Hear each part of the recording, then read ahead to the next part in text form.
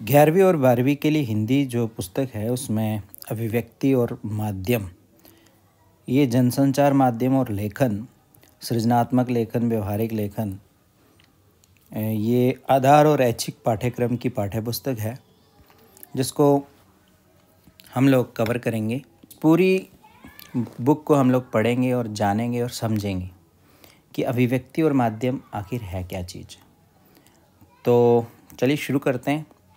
आप जुड़े रहें इस वीडियो के लास्ट तक और इस वीडियो में आप हर एक पार्ट को, अभिव्यक्ति और माध्यम के हर एक पार्ट को आप जानेंगे। पाठों के विषय में आपको मैं बता दूँ कि इसमें पाठ कौन कौन से हैं। तो ये इसके पाठ हैं। पहले जनसंचार माध्यम, फिर पत्रकारिता के विविध आयाम, विभिन्न माध्यमों के लिए लेखन, पत्रकारीय लेखन, विशेष लेखन स्वरूप और प्रकार फिर इकाई दो है हमारी। कैसे बनती है कविता? नाटक लिखने का व्याकरण। कैसे लिखें कहानी? डायरी लिखने की कला। कथा, पटकथा। कैसे करें कहानी का नाट्य रूपांतरण? कैसे बनता है रेडियो नाटक? नए और अप्रत्याशित विषयों पर लेखन। कार्यालय लेखन और प्रक्रिया। स्वावृत्त बायोडेटा। लेखन रोज़गार संबंधी आवेदन पत्र। कोश एक परिचय। तो ये इसका कंटेंट है, इस पुस्तक का। तो चलिए शुरू करते हैं। चैनल पे अभी नए हैं तो चैनल सब्सक्राइब कर लें ताकि आपके पास हर एक इस पुस्तक की वीडियो पहुँचे और आप इसे देखें। शेयर भी करें लोगों में और वीडियो को अंत तक ज़रूर देखें। तो चलिए शुरू करते हैं और पढ़ते हैं इसका पाठ संख्या एक। तो रुकिए थोड़ा सा। ये रहा पाठ संख्या एक, जिसको अभी हम लोग जानेंगे। पाठ का नाम है जनसंचार माध्यम और लेखन। ठीक है, ये यूनिट वन है, जिसका नाम है जनसंचार माध्यम और लेखन। तो बढ़ते हैं और जानते हैं इसको।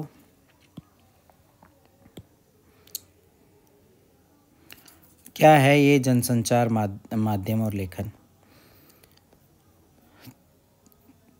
सबसे पहले मैं आपको बताऊँ कि इस पाठ में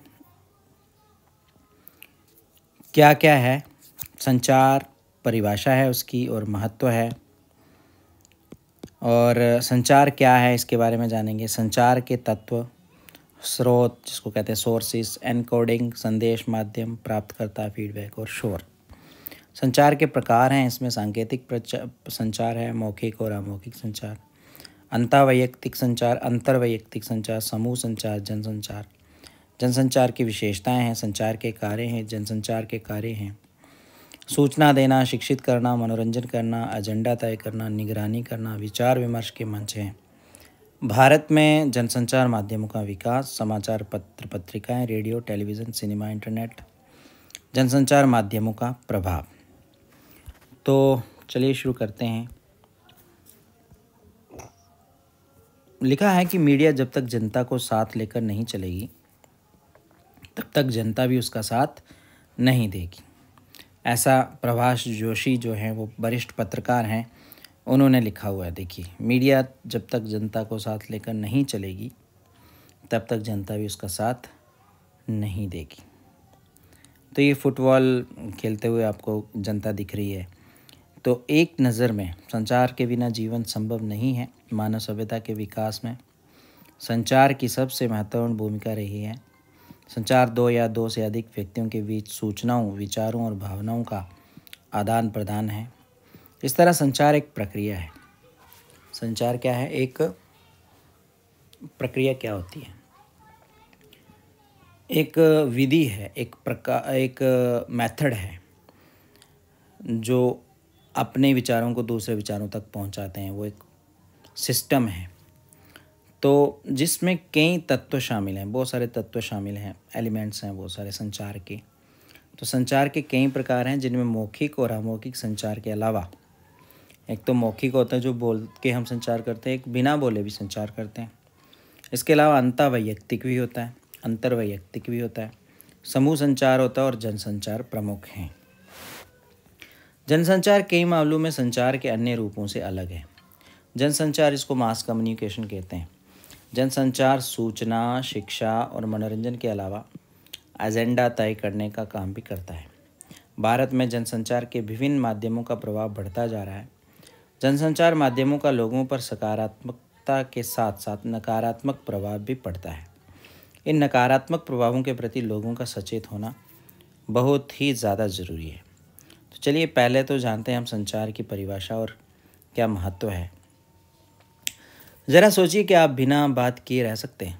सोचिए। अभी सोच लीजिए कि आप बिना बात किए रह सकते हो। नहीं रह सकते ना? शायद नहीं।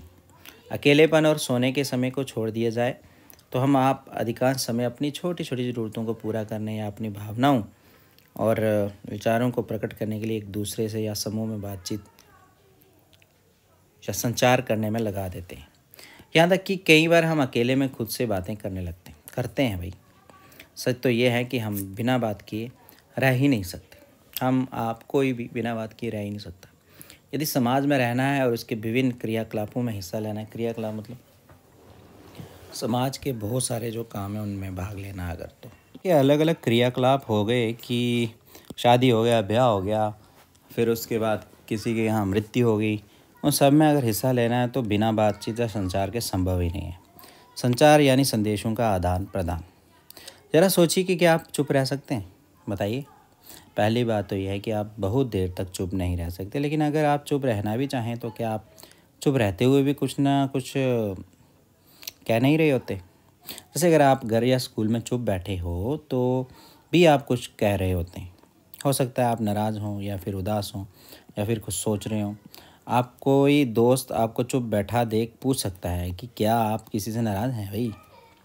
या किसी बात पर उदास हैं। इसका अर्थ ये हुआ कि आप कुछ कहकर संचार कर रहे होते हैं। उसी तरह कुछ ना कुछ कहकर भी संचार कर रहे होते हैं। हम चाहें या ना चाहें, अपने दैनिक जीवन में हम संचार किए बिना नहीं रह सकते। वास्तव में संचार जीवन की निशानी है। मनुष्य जब तक जीवित है, वह संचार करता रहता है। यहाँ तक कि एक बच्चा भी संचार के बिना नहीं रह सकता। वह रोकर या चिल्लाकर अपनी माँ का ध्यान अपनी ओर खींचता है। एक तरह से संचार खत्म होने का अर्थ है मृत्यु।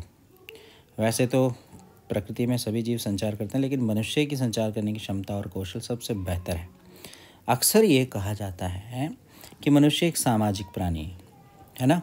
और उसे सामाजिक प्राणी के रूप में विकसित करने में उसकी संचार क्षमता की सबसे बड़ी भूमिका रही है। बिल्कुल रही है।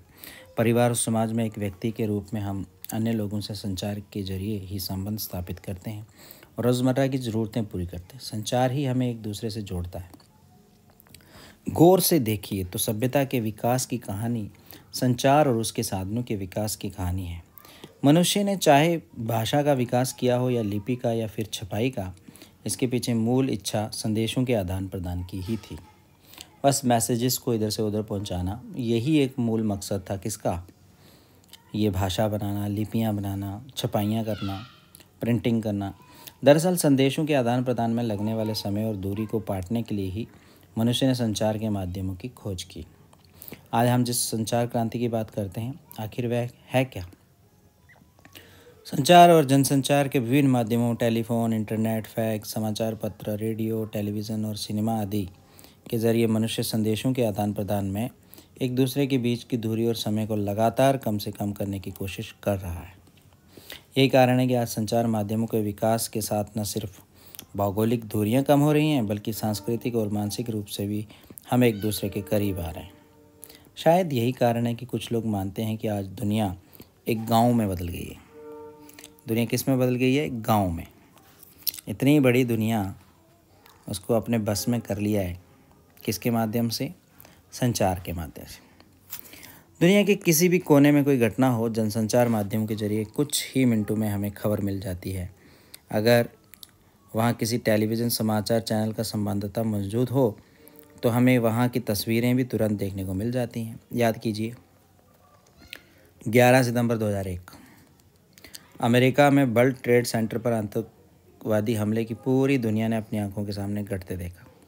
इसी तरह आज टेलीविज़न के पर्दे पर हम दुनिया भर के अलग अलग क्षेत्रों में घट रही घटना को सीधे प्रसारण के ज़रिए ठीक उसी समय देख सकते हैं। आप क्रिकेट मैच देखने स्टेडियम भले ना जाएँ लेकिन आप घर बैठे उस मैच का सीधा प्रसारण, जिसको लाइव कहते हैं, वो देख सकते हैं।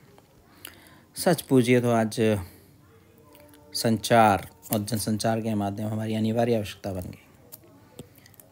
हमारे रोज़मर्रा के जीवन में उनकी बहुत अहम भूमिका हो गई है। उनके बिना हम आज आधुनिक जीवन की कल्पना भी नहीं कर सकते। वे हमारे लिए सिर्फ़ सूचना के माध्यम है, बल्कि वे हमें जागरूक बनाने और हमारा मनोरंजन करने में भी अग्रणी भूमिका निभा रहे हैं। लेकिन हम जनसंचार माध्यमों की आकर्षक और रोचक दुनिया के बारे में और चर्चा करें। उससे पहले ये ज़रूरी है कि संचार और उसकी प्रक्रिया को बारीकी से समझा जाए, क्योंकि जनसंचार संचार का ही एक रूप है। संचार क्या है? सबसे पहले ये जानते हैं। संचार शब्द की उत्पत्ति चर धातु से हुई है। चर संस्कृत का शब्द है, जिसका अर्थ है चलना, या एक स्थान से दूसरे स्थान तक पहुँचना। आपने विज्ञान में ताप संचार के बारे में पढ़ा होगा। कैसे गर्मी एक बिंदु से दूसरे बिंदु तक पहुँचती है। इसी तरह टेलीफोन की तार या बेतार के ज़रिए मौखिक या लिखित संदेशों का एक जगह से दूसरी जगह भेजने को भी संचार कहा जाता है। लेकिन हम यहाँ जिस संचार की बात कर रहे हैं, उससे हमारा तात्पर्य दो या दो से अधिक व्यक्तियों के बीच सूचनाओं, विचारों और भावनाओं का आदान प्रदान है। ठीक है? मशहूर संचार शास्त्री बिल्वर श्रैम के अनुसार, ये मशहूर संचार शास्त्री हैं बिल्वर श्रैम। इनके अनुसार संचार अनुभवों की साझेदारी है। ठीक है? दरअसल एक दूसरे से संचार करते हुए हम अपने अनुभवों को ही एक दूसरे से में बांटते हैं। लेकिन संचार सिर्फ़ दो व्यक्तियों तक सीमित परिघटना नहीं है। संचार के तहत सिर्फ़ दो या उसमें अधिक व्यक्तियों में ही नहीं, हज़ारों, लाखों लोगों के बीच होने वाले जनसंचार तक को शामिल किया जाता है। इस प्रकार सूचनाओं, विचारों और भावनाओं को लिखित, मौखिक या अदृश्य श्रव्य माध्यमों के ज़रिए सफलतापूर्वक एक जगह से दूसरी जगह पहुंचाना ही संचार है। किस किस को पहुंचाना? सूचनाओं को, विचारों को, भावनाओं को। लिखित मौखिक या जो दिखने वाले विजुअल्स हैं, उनके माध्यमों के ज़रिए एक जगह से दूसरी जगह मैसेज को पहुंचाना ही संचार है। और इस प्रक्रिया को अंजाम देने में मदद करने वाले तरीके संचार माध्यम कहलाते हैं। तो इस तरह हमने देखा कि संचार एक घटना के बाज़ार, बजाय प्रक्रिया है। एक ऐसी जीवंत प्रक्रिया मतलब एक ऐसी जीती जागती प्रक्रिया जिसमें सूचना देने और पाने वाले की सक्रिय एक्टिव पार्टिसिपेशन ज़रूरी है। देने और पाने वाला, दोनों जिंदे होने चाहिए। कोई भी अगर मरा हुआ हुआ ना तो समझो नहीं पहुंचेगा सूचना। दोनों की सक्रिय भागीदारी से ही ये प्रक्रिया पूरी होती है। अगर दोनों में से कोई संचार के लिए अनिच्छुक है, कोई उस मैसेज को लेना ही नहीं चाहता, उसकी इच्छा ही चॉइस ही नहीं है, अनिच्छुक है तो संचार प्रक्रिया का आगे बढ़ना मुश्किल हो जाता है। इस अर्थ में संचार अंतर क्रियात्मक इंटरएक्टिव प्रक्रिया है। संचार के तत्व जान लो कौन कौन से होते हैं। जब हम कहते हैं कि संचार एक प्रक्रिया है, क्या कहते हैं? संचार एक प्रक्रिया है। ठीक है, एक प्रोसेसिंग है है ना? तो इसका एक अर्थ ये भी होता है कि इस प्रक्रिया में कई चरण या तत्व शामिल हैं। संचार की प्रक्रिया में कई तत्व शामिल हैं। इनमें से कुछ प्रमुख तत्वों की हम यहाँ सिलसिलेवार चर्चा करें संचार प्रक्रिया की शुरुआत स्रोत स्रोत, सोर्स होता है ना, या संचारक। संचारक हो गया जो भेजने वाला। चलिए कौन है संचारक जानते हैं इसके बारे में आगे सब लिखा होगा। संचार प्रक्रिया की शुरुआत स्रोत या संचारक से होती है। स्रोत कह लो या संचारक कह लो। देने वाला जो होता है है ना, संचार? वो स्रोत होता है या संचारक होता है। जब स्रोत या संचारक के उद्देश्य के साथ अपने किसी विचार, संदेश या भावना को किसी और तक पहुंचाना चाहता है तो संचार प्रक्रिया की शुरुआत हो जाती है। जैसे आप स्वयं को स्रोत या संचारक मान लो, ठीक है? मानने में क्या चाहता है? मान लो, आपको इतिहास की किताब चाहिए, लेकिन इसके लिए आपको अपनी कक्षा के मित्र से आग्रह करना पड़ेगा। इस तरह जैसे ही आप किताब मांगने की सोचते हैं, संचार की प्रक्रिया शुरू हो जाती है। ज़ाहिर है कि किताब मांगने के लिए आप अपने मित्र से बातचीत करेंगे या उससे लिखकर संदेश भेजेंगे। बात ही संदेश भेजने के लिए आप भाषा का सहारा लेते हैं। भाषा असल में एक तरह का कूट, चिन्ह या कोड है। ये कोड है। आप अपने संदेश को उस भाषा में कूटीकृत या एनकोडिंग करते हैं, ठीक है? जो अपना संदेश है ना, आपने उसको एनकोड कर दिया उसमें। यह संचार की प्रक्रिया का दूसरा चरण है, ठीक है? पहला चरण संचारक, दूसरा चरण हो गया कूटीकृत या एनकोडिंग करना। सफल संचार के लिए ये ज़रूरी है कि आपका मित्र भी उस भाषा यानी कोड से परिचित हो, जिसमें आप अपना संदेश भेज रहे हैं। इसके साथ ही संचारक या का एनकोडिंग की प्रक्रिया पर भी पूरा अधिकार होना चाहिए। इसका अर्थ ये हुआ कि सफल संचार के लिए संचारक का भाषा पर पूरा अधिकार होना चाहिए, साथ ही उसे अपने संदेश के मुताबिक बोलना या लिखना भी आना चाहिए। ठीक है? एनकोडिंग करना आना चाहिए, उसको कूटीकृत करना आना चाहिए। इसके बाद संचार प्रक्रिया में अगला चरण स्वयं संदेश का आता है। तीसरा चरण किसका आ गया? संदेश का, मैसेज का। संचार प्रक्रिया में संदेश का बहुत ही अधिक महत्व है। संचार होता ही है जब संदेश के लिए तो महत्व तो होगा ही। किसी भी संचार का सबसे प्रमुख उद्देश्य अपने संदेश को उसी अर्थ के साथ प्राप्त करता तक पहुंचाना है। इसलिए सफल संचार के लिए ज़रूरी है कि संचारक अपने एक संदेश को लेकर खुद पूरी तरह से स्पष्ट हो। संदेश जितना ही स्पष्ट और सीधा होगा, संदेश के प्राप्तकर्ता को उसे समझना उतना ही आसान होगा। ये बात जान लो। स्पष्ट होना चाहिए और सीधा होना चाहिए। ये नहीं है कि ऊट पटांग संदेश आप भेज रहे हो, है ना? उससे बात नहीं बनेगी। लेकिन संदेश को किसी माध्यम माध्यम मतलब कोई सोर्स जिसको चैनल कहते हैं, कि ज़रिए प्राप्त कर करता तक पहुंचाना होता है। जैसे हमारे बोले हुए शब्द ध्वनि तरंगों के ज़रिए प्राप्त करता तक पहुँचते हैं, है ना? जबकि दृश्य संदेश प्रकाश तरंगों के ज़रिए, इसी तरह वायु तरंगों के ज़रिए भी संदेश पहुँचते हैं। और जैसे खाने की खुशबू हम तक वायु तरंगों के ज़रिए पहुँचती है, स्पर्श या छूना भी एक तरह का माध्यम है। इसी तरह टेलीफोन, समाचार पत्र, रेडियो, टेलीविज़न, इंटरनेट और फ़िल्म आदि विभिन्न माध्यमों के ज़रिए संदेश प्राप्तकर्ता तक पहुँचाया जाता है। मेनली हमारे कान और हमारी स्किन है ना? ये इम्पोर्टेंट रोल निभाती है। कानों के द्वारा हम सुनते हैं और संदेश हमारे कानों से अंदर घुसता है। और कई बार हम लोग टच से स्किन स्पर्श से भी उसको पहुँचा देते हैं। आँखें जो हैं, ये इससे भी संदेश पहुँच जाता है। तो ये जो मुख्य ज्ञान इंद्रियाँ हैं, इनसे हम लोग संदेश जो है, संचार जो है, अपने तक पहुँचा लेते हैं। अब इसके बाद वाला जो टॉप वो है, एक ज़रिया है, वो है प्राप्तकर्ता, यानी रिसीवर प्राप्त संदेश का कूटवाचन, यानी उसकी डिकोडिंग करता है। ठीक है? कूटवाचन हो गया यहाँ पर डिकोडिंग करना। एनकोडिंग हो गया संदेश को बनाना और डिकोडिंग हो गया संदेश को पचाना। मतलब यह है, डिकोडिंग का अर्थ है प्राप्त संदेश में निहित अर्थ को समझने की कोशिश। जो जो संदेश प्राप्त हुआ ना, उसमें जो अर्थ है, उसको समझने की कोशिश, उसको डिकोडिंग कहते हैं, ठीक है? उसको समझने की कोशिश करने को ही डिकोडिंग कर, कह देते हैं। ये एक तरह से एनकोडिंग एनकोडिंग का क्या है ये? विपर्य है या विलोम है, कि उल्टी प्रक्रिया है। इसमें संदेश का प्राप्तकर्ता उन चिन्हों और संकेतों के अर्थ निकालता है। ज़ाहिर है कि संचारक और प्राप्तकर्ता दोनों का उस कोड से परिचित होना ज़रूरी है। संचार प्रक्रिया में प्राप्तकर्ता की भी अहम भूमिका होती है, क्योंकि वही संदेश का आखिरी लक्ष्य होता है। प्राप्तकर्ता कोई भी हो सकता है, वह कोई एक व्यक्ति हो सकता है, एक समूह हो सकता है, या कोई संस्था अथवा एक विशाल जनसमूह भी हो सकता है। प्राप्तकर्ता को जब संदेश मिलता है तो वह उसके मुताबिक अपनी प्रतिक्रिया व्यक्त करता है।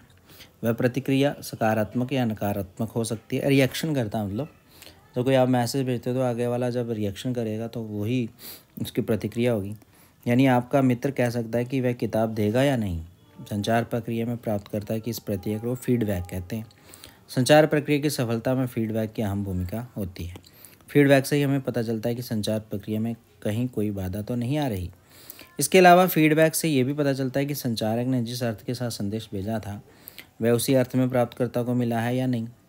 इस फीडबैक के अनुसार ही संचारक अपने संदेश में सुधार करता है और इस तरह संचार की प्रक्रिया आगे बढ़ती है और बढ़ती ही जाती है। हम मुँह से जो भी बोलते हैं, वो निरर्थक नहीं है, वो एक मैसेज है। वो आप प्यार भरा मैसेज भी दे सकते हो, गाली निकाल वाले गाली वाला भी दे सकते हो। बस समझने वाला जो है, वो आप ही की तरह होगा तो उसको समझेगा। अदरवाइज़ वो नहीं समझेगा, ठीक है? लेकिन वास्तविक जीवन में संचार प्रक्रिया इतनी सुचारू रूप से नहीं चलती। उसमें कई बाधाएँ भी आती हैं। इन बाधाओं को शोर नॉइज़ कहते हैं। संचार की प्रक्रिया को शोर से बाधा पहुंचाती है। ये शोर किसी भी किस्म का हो सकता है। ये मानसिक से लेकर तकनीकी और भौतिक शोर तक हो सकता है। शोर के कारण संदेश अपने मूल रूप में प्राप्तकर्ता तक नहीं पहुँच पाता। सफल संचार के लिए संचार प्रक्रिया से शोर को हटाना या कम करना बहुत ज़रूरी है। ये देखिए शोर। ये रुकावट है। स्रोत या संचारक संदेश भेजता है, एक माध्यम से भेजता है प्राप्त करता उसको प्राप्त करते हैं, फिर वो अपनी फीडबैक देते हैं। ठीक है? संचार के प्रकार। क्या है संचार के प्रकार? उनको जान लीजिए ज़रा। संचार एक बड़ी जटिल प्रक्रिया है। जटिल क्या होती है? बड़ी मुश्किल टफ टफ एक प्रोसेसिंग है। उसके कई रूप या प्रकार हैं। हम यहाँ अध्ययन की सुविधा के लिए उन्हें अलग अलग समझने की कोशिश करेंगे। वैसे संचार के विभिन्न रूप या प्रकार एक दूसरे में काफ़ी गुले मिले हैं। उन्हें अलग अलग देखना काफ़ी मुश्किल है। जैसे कभी आपने अपने मित्र को इशारे से बुलाते हैं। ज़ाहिर है कि ये इशारा भी संचार है। इसे सांकेतिक संचार कह सकते हैं।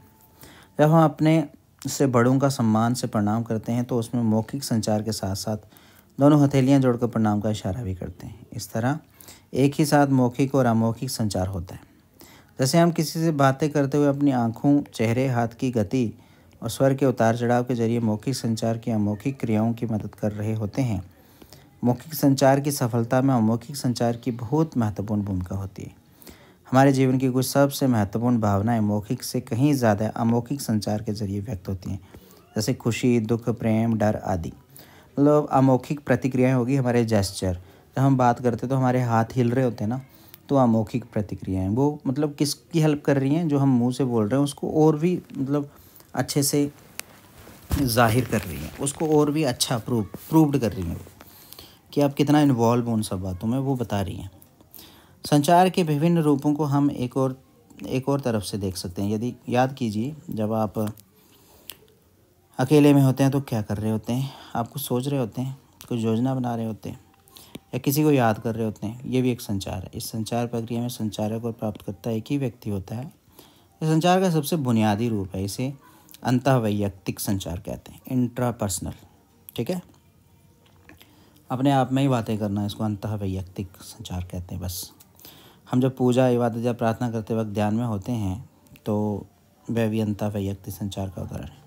किसी भी संचार की शुरुआत यहीं से होती है। हम पहले सोचते हैं, फिर किसी और से संवाद करते हैं। स्पष्ट है कि किसी विषय या मुद्दे पर सोच विचार करना या विचार मंथन भी संचार का ही एक रूप है।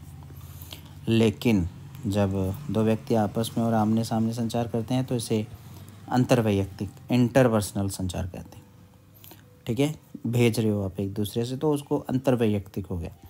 इस संचार में फीडबैक तत्काल प्राप्त होता है। अंतर्वैयक्तिक संचार की मदद से ही हम आपसी संबंध विकसित करते हैं और अपनी रोज़मर्रा की ज़रूरतें पूरी करते हैं। संचार का ये रूप पारिवारिक और सामाजिक रिश्तों की बुनियाद है। अपने व्यक्तिगत जीवन में सफलता के लिए हमारा अंतर्वैयक्तिक संचार का कौशल उन्नत और प्रभावी होना चाहिए। इस कौशल की ज़रूरत हमें कदम कदम पर पड़ती है। नौकरी और दाखिले होने वाले इंटरव्यू में आपके इसी कौशल की परख भी होती है। अब संचार का तीसरा प्रकार है भाई समूह संचार। ठीक है ग्रुप कम्युनिकेशन इसमें एक समूह आप, आपस में विचार विमर्श या चर्चा करता है, जैसे आपकी कक्षा समूह संचार का एक अच्छा उदाहरण है।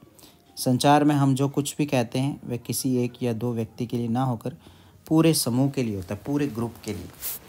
समूह संचार का उपयोग समाज और देश के सामने उपस्थित समस्याओं को बातचीत और बहस, मुहासे के ज़रिए हल करने के लिए होता है। संसद में जब विभिन्न मुद्दों पर चर्चा होती है तो ये भी समूह संचार का ही एक उदाहरण है। इसी तरह गाँव की पंचायत या किसी समिति की बैठक में भी समूह संचार का उदाहरण है। यहाँ गाँव के लोग या समिति के सदस्य आपस में चर्चा कर किसी निर्णय तक पहुँचते हैं। संचार का सबसे महत्वपूर्ण और आखिरी प्रकार है जनसंचार, मास कम्युनिकेशन। जब हम व्यक्तियों के समूह के लिए, समूह के साथ प्रत्यक्ष संवाद की बजाय किसी तकनीकी या यांत्रिक माध्यम के ज़रिए समाज के एक विशाल वर्ग से संवाद कायम करने की कोशिश करते हैं तो इसे जनसंचार कहते हैं। मास कम्युनिकेशन, ठीक है? ये तो आजकल एक सब्जेक्ट भी बन चुका है। इसमें एक संदेश को यांत्रिक माध्यम के ज़रिए, यांत्रिक मतलब इंस्ट्रूमेंटल सोर्स के ज़रिए बहुगुणित किया जाता है, ताकि उसे अधिक से अधिक लोगों तक पहुँचाया जा सके। इसके लिए हमें किसी उपकरण या माध्यम की मदद लेनी पड़ती है। मसलन, अखबार, रेडियो, टीवी, सिनेमा या इंटरनेट। अखबार में प्रकाशित होने वाले समाचार वही होते हैं, लेकिन प्रेस के ज़रिए उनकी हज़ारों लाखों प्रतियाँ प्रकाशित करके विशाल पाठक वर्ग तक पहुंचाई जाती है। जब जनसंचार की क्या विशेषताएँ हैं? जनसंचार में फीडबैक तुरंत प्राप्त नहीं होता है, ये तो आपको पता होना चाहिए। जनसंचार के श्रोताओं, पाठकों और दर्शकों का दायरा बहुत व्यापक होता है। साथ ही उनका गठन भी बहुत पंचमेल होता है। जैसे किसी टेलीविज़न चैनल के दर्शकों में अमीर वर्ग भी हो सकता है और गरीब वर्ग भी, शहरी भी और ग्रामीण भी। पुरुष भी हो सकता है, महिला भी हो सकती है, युवा, वृद्ध सब हो सकते हैं। इसके अलावा उनमें कोई दिल्ली में बैठा हो सकता है और कोई पटना में, लेकिन सभी एक ही समय टीवी पर अपनी पसंद का कार्यक्रम देख रहे हो सकते हैं। इसी से जुड़ी संचार की एक प्रमुख विशेषता यह है कि जनसंचार माध्यम के ज़रिए प्रकाशित या प्रसारित संदेशों की प्रकृति सार्वजनिक होती है। इसका अर्थ ये हुआ कि अंतर वैयक्तिक या समूह संचार की तुलना में जनसंचार के संदेश सबके लिए होते हैं। जनसंचार का संचार के अन्य रूपों में से एक फ़र्क ये भी है कि इसमें संचारक और प्राप्तकर्ता के बीच कोई सीधा संबंध नहीं होता, कोई रिलेशन नहीं होता। ठीक है? नोन अननोन होते हैं। मतलब जानने वाला भी हो सकता है, नहीं भी जानता है भाई। लेकिन आप तक वो मैसेज पहुंचाता है। प्राप्तकर्ता यानी पाठक, श्रोता और दर्शक, संचारक को उसकी सार्वजनिक भूमिका के कारण पहचानता है। संचार के अन्य रूपों की तुलना में जनसंचार के लिए एक औपचारिक संगठन की भी ज़रूरत पड़ती है। औपचारिक संगठन के बिना जनसंचार माध्यमों को चलाना मुश्किल है। जैसे समाचार पत्र किसी न किसी संगठन से प्रकाशित होता है या रेडियो का प्रसारण किसी रेडियो संगठन की ओर से किया जाता है। जनसंचार माध्यमों की एक और महत्वपूर्ण विशेषता यह है कि उनमें ढेर सारे द्वारपाल गेट कीपर काम करते हैं। द्वारपाल वे व्यक्ति या व्यक्तियों का समूह है जो जनसंचार माध्यमों से प्रकाशित या प्रसारित होने वाली सामग्री को नियंत्रित और निर्धारित करता है। किसी जनसंचार माध्यम में काम करने वाले द्वारपाल ही तय करते हैं कि वहाँ किस तरह की सामग्री प्रकाशित या प्रसारित की जाएगी।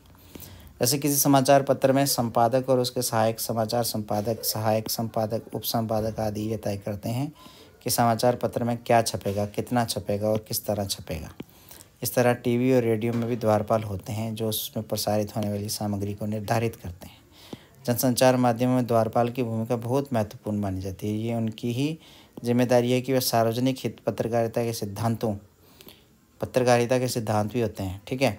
मूल्यों और आचार संहिता के अनुसार सामग्री को संपादित करें और उसके बाद ही उनका प्रसारण या प्रकाशन की इजाज़त दें, सेंसर बोर्ड की तरह। तो संचार के कार्य क्या हैं? इन्हें जान लो। संचार के कार्य देखो। आप अपने रोज़मर्रा के जीवन में संचार का खूब इस्तेमाल करते हैं। निश्चय ही आप उसके उपयोग और कार्यों से बहुत हद तक परिचित हैं पहले से ही। संचार विशेषज्ञों के अनुसार संचार के कई कार्य हैं। इनमें से कुछ कार्यों को हम यहाँ रेखांकित कर सकते हैं। यहाँ आप देख रहे होंगे ये पत्रकार और यहाँ हेल्पिंग हैंड है किसी का। संचार का प्रयोग हम कुछ हासिल करने या प्राप्त करने के लिए करते हैं। जैसे अपने दोस्त से किताब मांगने के लिए। एक, दूसरा, यहाँ देखिए, नियंत्रण। संचार के ज़रिए हम किसी के व्यवहार को नियंत्रित करने की कोशिश करते हैं, यानी उसे हम एक ख़ास तरीके से व्यवहार करने के लिए कहते हैं, जैसे कक्षा में शिक्षक विद्यार्थियों को नियंत्रित करते हैं। तीसरा, सूचना। कुछ जानने के लिए या कुछ बताने के लिए भी हम संचार का प्रयोग करते हैं। चौथा, अभिव्यक्ति। संचार का उपयोग हम अपनी भावनाओं को अभिव्यक्ति के लिए या अपने को एक खास तरह से प्रस्तुत करने के लिए भी करते हैं। सामाजिक संपर्क, माइक देख लीजिए, है ना? संचार का प्रयोग हम एक समूह में आपसी संपर्कों को बढ़ाने के लिए भी करते हैं। बचाव, संचार का प्रयोग अक्सर हम अपनी समस्याओं या किसी चिंता को दूर करने के लिए करते हैं। मूर्ख, संचार का प्रयोग हम अपनी रुचि की किसी वस्तु या विषय के प्रति प्रतिक्रिया व्यक्त करने के लिए भी करते हैं, ठीक है? किसी वस्तु या विषय के प्रति। वस्तु या कोई सामान और कोई सब्जेक्ट भी हो गया, उसके प्रति हम अपना जो रिएक्शन है, उसको व्यक्त करने के लिए, उसको बताने के लिए भी करते हैं संचार। जिसको फीडबैक बोलते हैं हम लोग, है ना? रिव्यू कहते हैं इसको। इसके साथ ही संचार का प्रयोग हम अपनी किसी भूमिका को पूरा करने के लिए करते हैं, क्योंकि ये परिस्थिति की मांग होती है। जैसे आप एक विद्यार्थी के रूप में या एक डॉक्टर या एक जज के रूप में अपनी भूमिका के अनुसार संचार करते हैं।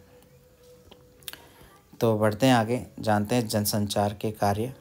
जिस प्रकार संचार के कई कार्य हैं, उसी तरह जनसंचार माध्यम के कई कार्य हैं। उनमें से कुछ प्रमुख कार्य इस प्रकार हैं। सूचना देना सबसे पहला कार्य।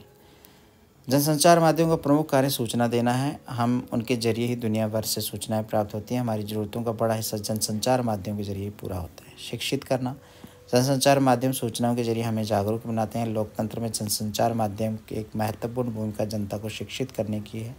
यहाँ शिक्षित करने से आशय उन्हें देश दुनिया के हाल से परिचित कराने और उसके प्रति सजग बनाने से। है मनोरंजन करना, जनसंचार माध्यम मनोरंजन का भी एक प्रमुख साधन है। सिनेमा, टीवी, रेडियो, संगीत के टेप, वीडियो और किताबें आदि मनोरंजन के प्रमुख माध्यम एजेंडा तय करना, जनसंचार माध्यम सूचनाओं और विचारों के ज़रिए किसी देश और समाज का एजेंडा भी तय करते हैं।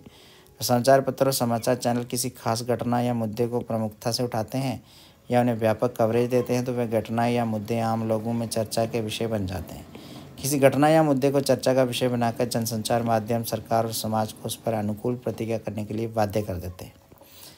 ठीक है, एजेंडे बनाना भी क्या है? जनसंचार है।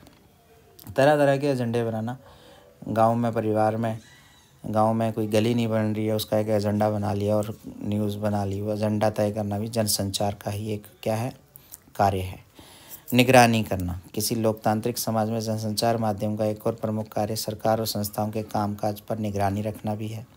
अगर सरकार कोई गलत कदम उठाती है, किसी संगठन, संस्था में कोई अनियमितता बरती जा रही है तो उस लोगों तक सामने लाने की जिम्मेवारी संचार, जनसंचार माध्यमों पर ही है। विचार विमर्श के मंच। ठीक है? कुछ मंच बनाना, है ना? जनसंचार माध्यम का कार्य ये भी है कि वे लोकतंत्र में विभिन्न विचारों को अभिव्यक्ति का मंच उपलब्ध कराते हैं। इसके ज़रिए विभिन्न विचार लोगों के सामने पहुँचते हैं। जैसे किसी समाचार पत्र के संपादकीय पृष्ठ पर किसी घटना या मुद्दे पर विभिन्न विचार रखने वाले लेखक अपनी राय व्यक्त करते हैं। इस तरह संपादक के नाम, चिट्ठी, स्तंभ में आम लोगों को अपनी राय व्यक्त करने का मौका मिलता है। इस तरह जनसंचार माध्यम विचार विमर्श के मंच के रूप में भी काम करते हैं। भारत में जनसंचार माध्यमों का विकास। भारत में आज जनसंचार के आधुनिक माध्यम जिस रूप में मौजूद हैं, उसकी प्रेरणा भले ही पश्चिमी जनसंचार माध्यम रहे हों, लेकिन हमारे देश में भी जनसंचार माध्यमों का इतिहास कम पुराना नहीं है। बड़ी सहायता के साथ इसके बीच पौराणिक काल के मिथकीय पात्रों में खोजे जा सकते हैं। देवर्षि नारद को भारत का पहला समाचार वाचक माना जाता है, जो वीणा की मधुर जंकार के साथ धरती और देवलोक के बीच संवाद सेतु थे। उन्हीं की तरह महाभारत काल में महाराज धृतराष्ट्र और रानी गंधारी को युद्ध की झलक दिखाने और उसके विवरण सुनाने के लिए जिस तरह संजय की परिकल्पना की गई है, वह एक अत्यंत समृद्ध संचार व्यवस्था की ओर इशारा करती है। तो ये देख लीजिए, कुछ चित्र हैं, बहुत सुंदर सुंदर चित्र। इनसे भी आपको समझ रहे होंगे। ये चित्र जो है, शिकार के चित्र हैं, जिससे शिकार का संदेश पहुँच रहा है। भीम बेटका के गुफा चित्र हैं, ठीक है? गुफाओं के बारे में हमें संदेश प्राप्त होता है। तो जन भावनाओं को राय दरबार तक पहुँचाने और राजा का संदेश जनता के बीच प्रसारित करने की समृद्ध व्यवस्थाओं के उदाहरण बाद में भी दिखाई पड़ते हैं।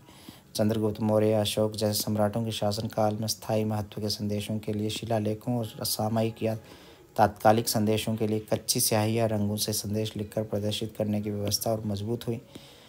तब बाकायदा रोजनामचा लिखने के लिए कर्मचारी नियुक्त किए जाने लगे और जनता के बीच संदेश भेजने के लिए भी यही सही व्यवस्था की गई। लेकिन भारतीय संचार परंपरा की खासियत ये भी रही है कि राय दरबारों के समानांतर हमारे यहाँ लोक माध्यमों की भी सुलझी व्यवस्था मौजूद रही है।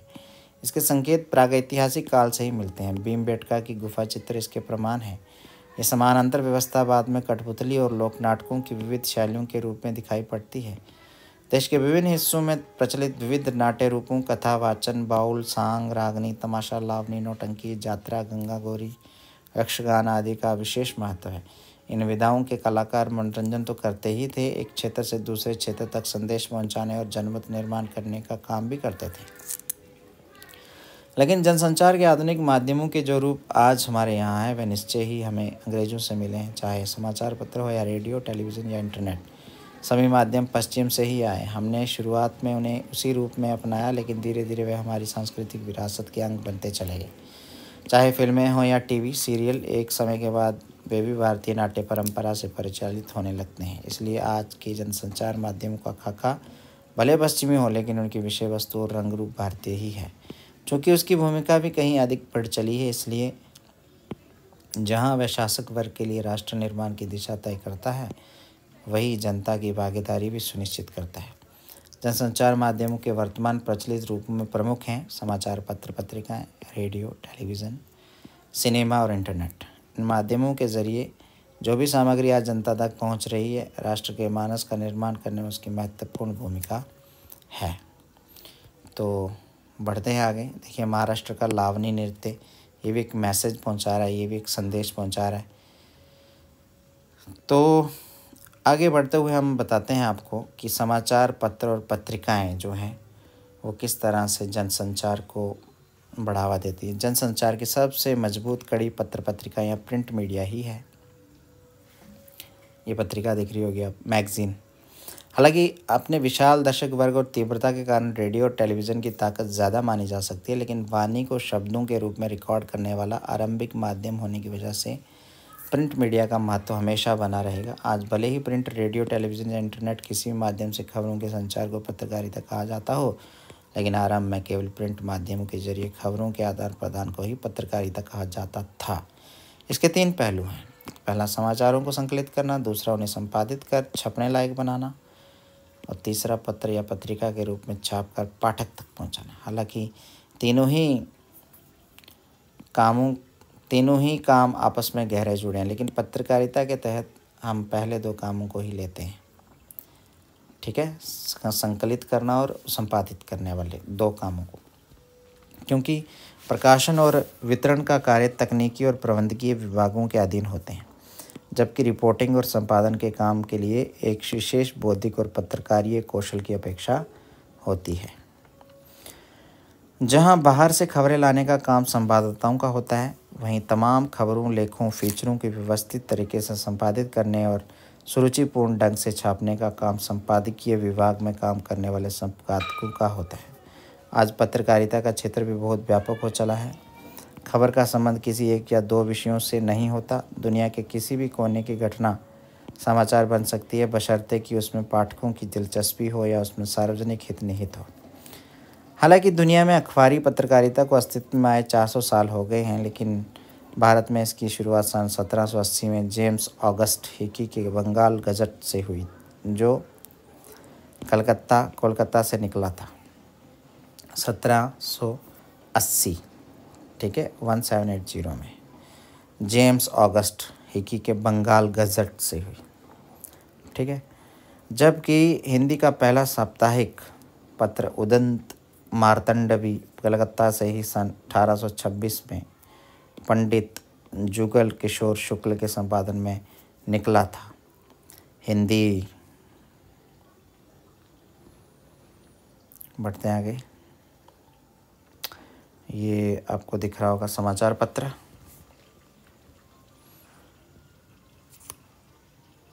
यहाँ बहुत सारे आपको समाचार पत्र, सरस्वती दिख रहा है, हिंदुस्तान टाइम्स दिख रहा है, विशाल भारत दिख रहा है। ठीक है, आज़ादी के दिन का हिंदुस्तान, हिंदी के विकास में अग्रणी भूमिका निभाने वाली सरस्वती। और प्रेमचंद द्वारा संपादित हंस का पहला अंक, बीसवीं सदी के साहित्यिक बदलाव का मुख्य पत्र मतवाला। बनारसी दास चतुर्वेदी द्वारा संपादित जुलाई उन्नीस सौ उनतालीस का विशाल भारत। तो देखिए ये एक गतिविधि है जो बच्चों के करने के लिए है। ठीक है? लिखा है, भाषा के विकास में शुरुआती अखबारों और पत्रिकाओं ने बहुत महत्वपूर्ण भूमिका निभाई। लिहाज से भारतेंदु हरिश्चंद्र का नाम हमेशा सम्मान के साथ लिया जाएगा, जिन्होंने कई पत्रिकाएँ निकाली। आज़ादी के आंदोलन में भारतीय पत्रों ने अहम भूमिका निभाई। महात्मा गांधी, लोकमान्य तिलक और मदन मोहन मालवीय जैसे नेताओं ने लोगों को जागरूक बनाने के लिए पत्रकार की भूमिका निभाई। गांधी जी को हम समकालीन भारत का सबसे बड़ा पत्रकार कह सकते हैं।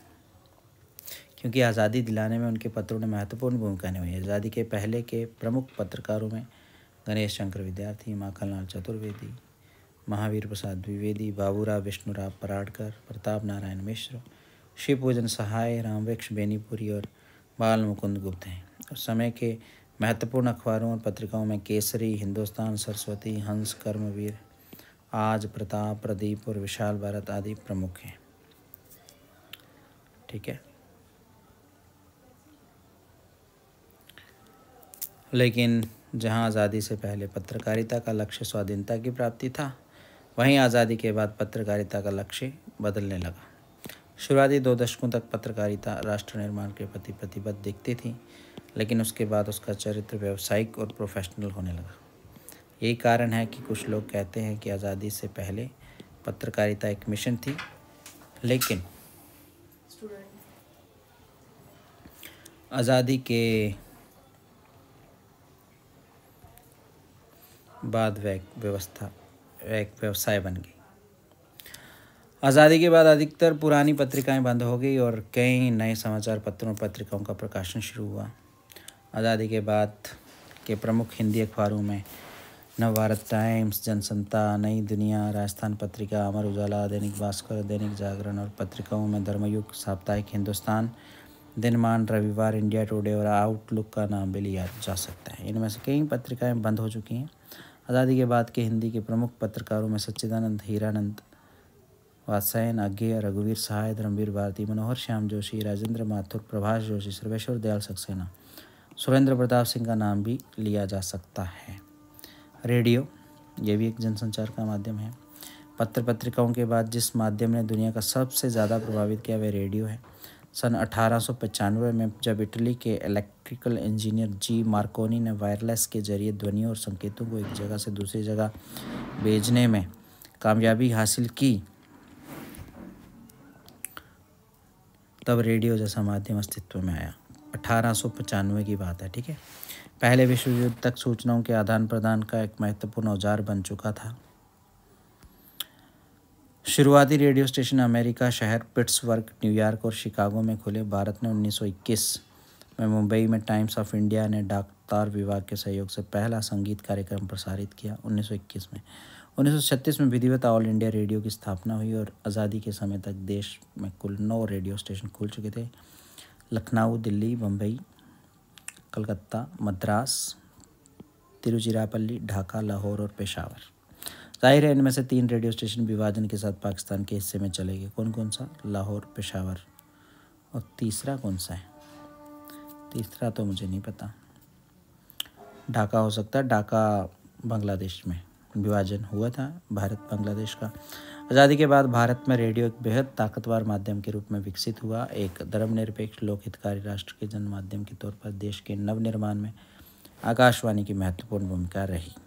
सूचना और शिक्षा के अलावा देश की सांसिक संस्कृति को उभारने और राष्ट्रीय नवनिर्माण के लिए शुरू किए गए कार्यक्रमों को एक आवाज़ देने के काम, देने का काम किसने किया? रेडियो ने। बढ़ते हैं आगे। तो जनसंचार का जो प्रतिशत है जनता के बीच आकाशवाणी का दायरा नाइन्टी सिक्स परसेंट है। ठीक है? आज आकाशवाणी देश की चौबीस भाषाओं और एक सौ छियालीस बोलियों में कार्यक्रम प्रस्तुत करती है। देश की छियानवे प्रतिशत आबादी तक इसकी पहुँच है। उन्नीस सौ तिरानवे एफ़ फ्रिक्वेंसी मॉड्यूलेशन की शुरुआत के बाद रेडियो के क्षेत्र में निजी कंपनियाँ भी आई गई लेकिन अभी उन्हें समाचार और समसामयिक कार्यक्रमों के प्रसारण की अनुमति नहीं है। उन्नीस सौ सत्तानवे में आकाशवाणी और दूरदर्शन को केंद्र सरकार ने सीधे नियंत्रण से निकालकर प्रसार भारती नाम के स्वायत्त शासी निकाय को सौंप दिया गया। असल में लंबे अरसे तक सरकारी नियंत्रण में रहने के कारण रेडियो में आ गई जड़ता को तोड़ने की पहल उन्नीस में उच्चतम न्यायालय के एक फैसले ने की। इस फैसले में कहा गया कि ध्वनि तरंगों पर किसी का एकाधिकार नहीं हो सकता और उन्हें मुक्त किया जाना चाहिए। एफएम के दूसरे चरण के साथ देश के नब्बे शहरों में 350 से अधिक निजी एफएम चैनल शुरू हो रहे हैं। इसके साथ ही सामुदायिक और कम्युनिटी रेडियो केंद्रों के आने से देश में रेडियो की नई संस्कृति अस्तित्व में आ रही है। रेडियो एक ध्वनि माध्यम है। इसकी तात्कालिकता, घनिष्ठता और प्रभाव के कारण गांधी जी ने रेडियो को एक अद्भुत शक्ति कहा था। ध्वनि तरंगों के ज़रिए संदेश देश के कोने कोने तक पहुँचता है। दूर दराज के गाँव में यहाँ संचार और मनोरंजन के अन्य साधन नहीं हैं। होते, वहाँ रेडियो ही एकमात्र साधन है। बाहरी दुनिया से जुड़ने का फिर अखबार और टेलीविज़न की तुल, तुलना में सबसे बहुत सस्ता सस्ता भी है। इसलिए इसलिए भारत के दूर दराज के इलाकों के लोगों ने रेडियो क्लब बना लिए हैं। आकाशवाणी के अलावा सैकड़ों निजी एफएम स्टेशन और B B C voice of America Deutsche Welle radio Germany Moscow radio radio Peking radio Australia जैसे कई विदेशी प्रसारों हम हैम एमेच्योर रेडियो क्लब हूँ। स्वतंत्र समूह द्वारा संचालित पंचगी रेडियो स्टेशन का जाल बिछा हुआ है। तो अभी इस वीडियो हम यहीं तक पढ़ेंगे, इसके बाद हम पढ़ेंगे जनसंचार का एक और माध्यम, टेलीविज़न। इसके विषय में जानते हैं। अभी तक हम इतना ही पढ़ेंगे। वीडियो को लाइक कीजिए, चैनल को सब्सक्राइब कीजिए और जुड़े रहें हमारे चैनल के साथ। ठीक है, ये एक टास्क है जो गतिविधि है, अपने ट्रांजिस्टर पर आकाशवाणी के स्थानीय केंद्र से प्रसारित होने वाले कार्यक्रम को सुनिए। विषय आठ बजे सुबह और रात्रि आठ पैंतालीस बजे हिंदी में प्रसारित होने वाले राष्ट्रीय समाचार बुलेटिन सुनिए। इसके साथ ही शाम साढ़े सात बजे बीबीसी प्रसारित होने वाले समाचार भी सुनिए। आकाशवाणी और बीबीसी के समाचार बुलेटिन की तुलना करते हुए तीन सौ शब्दों का एक आलेख तैयार कीजिए और कक्षा में शिक्षक के सहयोग से इस पर चर्चा भी कीजिए। ठीक है तो मिलते हैं आपको इसके बाद वाली वीडियो में। पार्ट टू भी इसका देखिए। पार्ट वन यहीं तक था, ठीक है? पार्ट टू इसका बनाया जाएगा, उसे भी आप ज़रूर देखें। धन्यवाद।